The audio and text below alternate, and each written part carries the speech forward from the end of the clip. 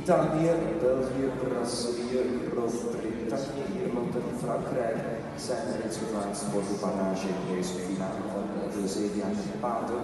Een proef die ook meetelt voor de Longino Nu verder naar Axel van Doornen, rijdt Best Choice van de Wagenslag gezet, Best Man.